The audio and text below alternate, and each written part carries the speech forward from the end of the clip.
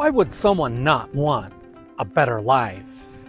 In John 5, verse 6, uh, Jesus asked a man who has been uh, an invalid for 38 years of his life, Do you want to get better?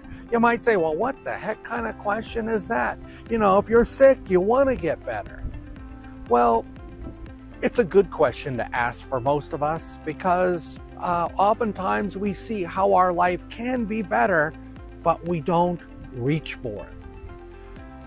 What God wants to do is to give us a better life. The problem comes when we feel like we would choose what we know, whether it's being sick for 38 years, over what we don't know of being better.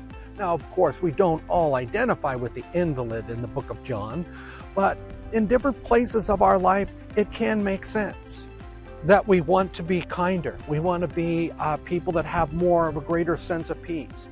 God wants to build us up. And the primary way He does this is through His grace in Jesus Christ. To have a deeper relationship with Him, to let Him love us through what Jesus has accomplished by giving us grace on the cross and through His resurrection and His righteous life, gives us a foundation to grow, to move to better places, to move beyond what we know to something better. I hope this video has been helpful for you, but in any case, as we say, Salam Allah the Paz de Dios en tu viaje. God's peace be with you on your journey.